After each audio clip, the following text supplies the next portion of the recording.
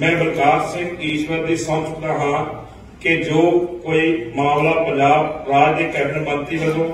ਮੇਰੇ ਵਿਚਾਰ ਅਧੀਨ ਲਿਆਂਦਾ ਜਾਵੇਗਾ ਜਾਂ ਮੈਨੂੰ ਗਿਆਤ ਹੋਵੇਗਾ, ਉਹ ਕਿਸੇ ਵਿਅਕਤੀ ਜਾਂ ਵਿਅਕਤੀਆਂ ਨੂੰ ਸਵਾਏ,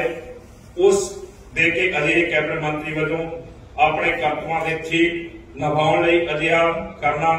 ਲੜੀਂਦਾ ਹੈ। ਮੈਂ ਸਿੱਧੇ ਨਾ ਸਿੱਧੇ ਤੌਰ ਤੇ ਨਾ ਦੱਸਾਂਗਾ, ਨਾ ਪ੍ਰਗਟ ਕਰਾਂਗਾ। ਮੈਂ ਗੁਰਮੀਤ ਸਿੰਘ ਕੁਟੀਆਂ ਮੈਂ ਗੁਰਮੀਤ ਸਿੰਘ ਕੁੜੀਆਂ ਈਸ਼ਵਰ ਦੀ ਸਹੁੰ ਚੁੱਕਦਾ ਹਾਂ ਕਿ ਮੈਂ ਕਾਨੂੰਨ ਦੁਆਰਾ ਸਥਾਪਿਤ ਭਾਰਤ ਦੇ ਸੰਵਿਧਾਨ ਦੇ ਪ੍ਰਤੀ ਸੱਚੀ ਸ਼ਰਧਾ ਅਤੇ ਨਿਸ਼ਠਾ ਰੱਖਾਂਗਾ। ਕਿ ਮੈਂ ਭਾਰਤ ਦੀ ਪ੍ਰਭੂਸੱਤਾ ਅਤੇ ਅਖੰਡਤਾ ਨੂੰ ਬਰਕਰਾਰ ਰੱਖਾਂਗਾ। ਕਿ ਮੈਂ ਪੰਜਾਬ ਰਾਜ ਦੀ ਕੈਬਨਿਟ ਮੰਤਰੀ ਵਜੋਂ ਆਪਣੇ ਕਰਤੱਵਾਂ ਨੂੰ ਵਫਾਦਾਰੀ ਅਤੇ ਸ਼ੁੱਧ ਅੰਤਿਕਾਰ ਨਾਲ ਨਿਭਾਵਾਂਗਾ ਅਤੇ ਮੈਂ ਪੈ ਜਾਂ ਪੱਖਪਾਤ, ਸਨੇਹ ਜਾਂ ਦੁਰਭਾਵਨਾ ਦੇਣਾ ਸਭ ਤਰ੍ਹਾਂ ਦੇ ਲੋਕਾਂ ਦੇ ਪ੍ਰਤੀ ਸੰਵਿਧਾਨ ਅਤੇ ਕਾਨੂੰਨ ਦੀ ਅਨੁਸਾਰਤਾ ਵਿੱਚ ਨਿਆਂ ਕਰਾਂ।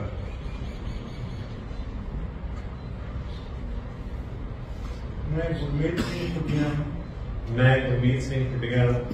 ਈਸ਼ਵਰ ਦੀ ਸਹੁੰ ਚੁੱਕਦਾ ਹਾਂ ਕਿ ਕਿ ਜੋ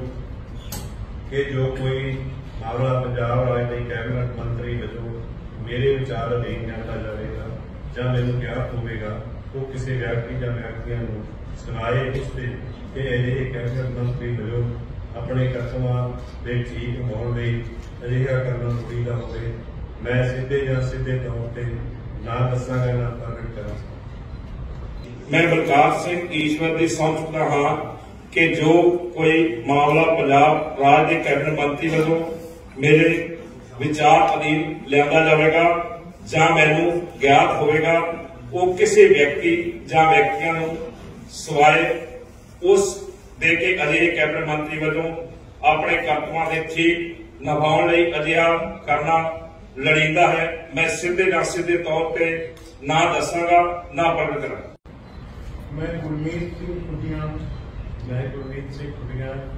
ਈਸ਼ਵਰ ਦੀ ਸਹੁੰ ਚੁੱਕਦਾ ਹਾਂ ਕਿ ਮੈਂ ਕਾਨੂੰਨ ਦੁਆਰਾ ਸਥਾਪਿਤ ਭਾਰਤ ਦੇ ਸੰਵਿਧਾਨ ਦੇ ਪ੍ਰਤੀ ਸੱਚੀ ਸ਼ਰਧਾ ਅਤੇ ਨਿਸ਼ਠਾ ਰੱਖਾਂਗਾ। ਕਿ ਮੈਂ ਭਾਰਤ ਦੀ ਪ੍ਰਭੂਸੱਤਾ ਅਤੇ ਅਖੰਡਤਾ ਨੂੰ ਬਰਕਰਾਰ ਰੱਖਾਂਗਾ। ਕਿ ਮੈਂ ਪੰਜਾਬ ਰਾਜ ਦੀ ਕੈਬਨਿਟ ਮੰਤਰੀ ਵਜੋਂ ਆਪਣੇ ਕਰਤੱਵਾਂ ਨੂੰ ਵਫਾਦਾਰੀ ਅਤੇ ਸ਼ੁੱਧ ਅੰਤਿਕਾਰ ਨਾਲ ਨਿਭਾਵਾਂਗਾ। ਅਤੇ ਮੈਂ ਪੈ ਜਾਂ ਪੱਖਪਾਤ ਸਨੇਹ ਜਾਂ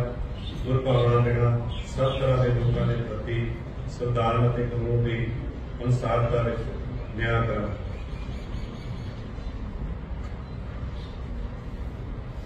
ਮੈਂ ਗੁਰਮੀਤ ਸਿੰਘ ਕੁਟੀਆਂ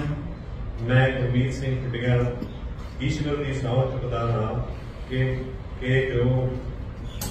ਕਿ ਜੋ ਕੋਈ ਮਾਮਲਾ ਪੰਜਾਬ ਰਾਜ ਦੇ ਕੈਬਨਿਟ ਮੰਤਰੀ ਵਜੋਂ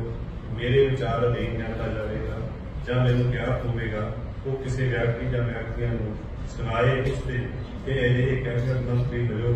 ਆਪਣੇ ਕਰਤਵਾਂ ਦੇ ਠੀਕ ਹੋਣ ਲਈ ਅਜਿਹਾ ਕਰਨਾ ਲੋੜੀਂਦਾ ਹੋਵੇ।